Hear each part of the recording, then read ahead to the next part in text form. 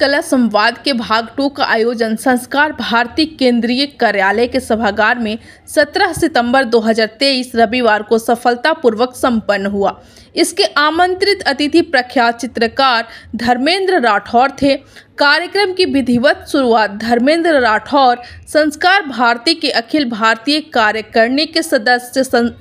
अशोक कुमार तिवारी और प्रसिद्ध लेखक, अभिनेता अरुण शेखर जी आदि गणमान्यों ने दीप प्रज्वलन के साथ किया।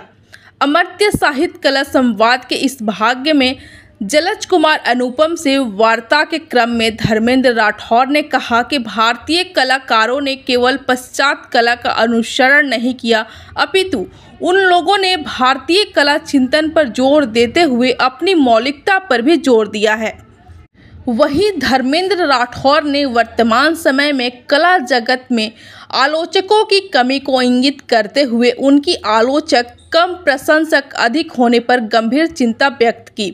साथ ही इस क्षेत्र में कलाकारों को सकारात्मक आलोचना के माध्यम से सही दिशा निर्देश देने वाली संस्था की आवश्यकता पर ज़ोर दिया। ये इस काव्य संग्रह में यथार्थ परक परक जो कविताएँ हैं, खूब हैं। छायावाद का थोड़ा अंश है, लेकिन यथार्थ से जुड़ी हुई बहुत सारी कविताएँ हैं। मेरा आग्रह रहेगा कि इस संग्रह को आप ज़रूर खरीदें, जो कि इंडिया नेट बुक्स की तरफ़ से ये छापी गई है। तो वेबसाइट है, वहाँ से आप लें। तो कहना शेष है, एक अच्छे संग्रह के लिए हमारी, सबकी तरफ़ से रिकमेंडेशन रहेगी उसको ज़रूर लें और पढ़ें। धन्यवाद। कविताएँ आम आदमी की कविताएँ हैं। आम आदमी का कहने का तात्पर्य जो पाठक है, वो कविताओं से अपने आप को जोड़ पाता है। और ये बहुत बड़ी सार्थकता होती है किसी भी कवि की कि कोई अगर पाठक पढ़े कविताओं को तो लगे कि हमारी बात कहीं ना कहीं कही गई है कविताओं में। तो ये संप्रेषणीयता का संकट जो होता है, वो नहीं है। कविताएँ जो है, अपना भाव है कविताओं का, वो कवि अपने अपने भाव पाठक तक संप्रेषित कर पा रहा है, बहुत बड़ी बात है। संकलन। कहना शेष है, बहुत ही भावपूर्ण, मर्मस्पर्शी और विविध विषयों को लेकर चलने वाली कविता है। इसमें पर्यावरण है, इसमें हमारे रिश्ते हैं, बदलाव है, राजनीति है और बहुत सरल, सुबोध भाषा में अत्यंत भावपूर्ण ढंग से उन्होंने कविताओं की रचना की है। उनकी कविताएँ खासतौर से इसलिए महत्वपूर्ण है कि वो कोई विचारपूर्ण नहीं लगती, बल्कि उसमें बिंब, प्रतीक और कविताओं के अन्य अलंकार मिलते हैं, जो उन्हें अन्य कवियों से अलग करते हैं। अरुण शेखर जी, इनकी कविताएँ भारतीय मिट्टी की जो खुशबू है, उससे परिचय कराती है। मुझे लगता है कि ऐसे लेखक कम हैं, जो देश की बात तो करते हैं, युवाओं की बात करते हैं, और उनकी बात का जो मर्म है, वो माँ है। संवेदनाओं के कवि हैं अरुण शेखर जी, और इनकी कविताएँ निश्चित ही एक व्यापक पाठक वर्ग तक अवश्य पहुंचेगी। मैं इनको अपनी शुभकामनाएँ देता हूँ। आपके माध्यम से बहुत कहना शेष मैंने सबसे पहली टिप्पणी शेष नहीं रहना चाहिए। दिल की बात दिल से चाहिए और हमने अरुण जी को बधाई देते हुए कहा लिखते रहिए लिखते रहिए लिखते रहिए।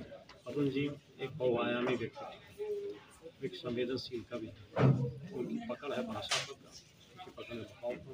उन्होंने विभिन्न विषयों पर, विभिन्न घटनाओं पर, विभिन्न चित्रों पर, विभिन्न फ़िल्मों पर अपनी जो कविताएँ लिखी हैं, वो सराहनीय है।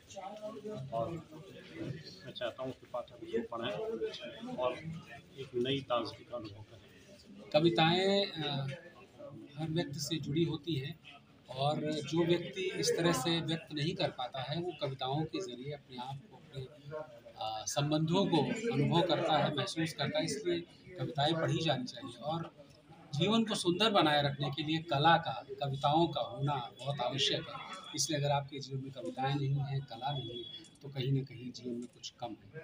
तो इसलिए अगर आप लिखते नहीं तो एटलीस्ट पढ़ना ज़रूर चाहिए। सर अभी तक कितने संग्रह प्रकाशित हो मेरी तीन पुस्तकें आ चुकी हैं। पहली पुस्तक थी जिसका नाम था मेरा और नछोर। दूसरा था नाट्य संग्रह जिसका नाम था आ से आम। और तीसरी एक पुस्तक है जिसका नाम है कहना शेष। और सकुल के लिए क्या कहना चाहेंगे? काफ़ी सकुल का मंच काफ़ी ऐसे सांस्कृतिक कार्यक्रमों को ये मंच दे रहा है?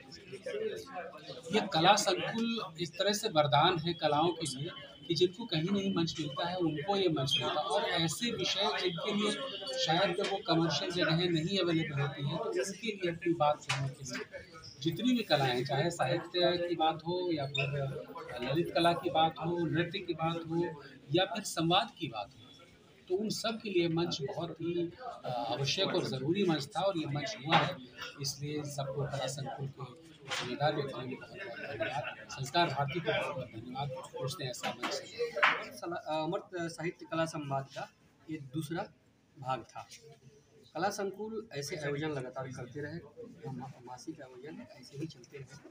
और अमर साहित्य कला संवाद के हर भाग में हम लोग किसी न किसी साहित्य से जुड़े बड़े नाम कला से जुड़े बड़े बड़े नाम सिनेमा से जुड़े बड़े नाम उनको हम लोग देखेंगे।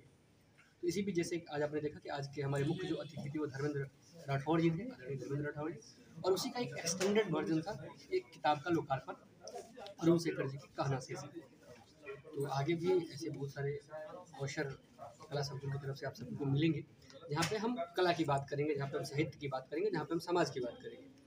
अमर साहित्य कला संकुल का उद्देश्य ये है कि युवाओं में साहित्य के प्रति, कला के प्रति और जो भारतीय, भारत और भारतीयता की जो बात है, उनको लेकर समझ विकसित किया जाए उसके लिए ही इसका शुरुआत किया गया।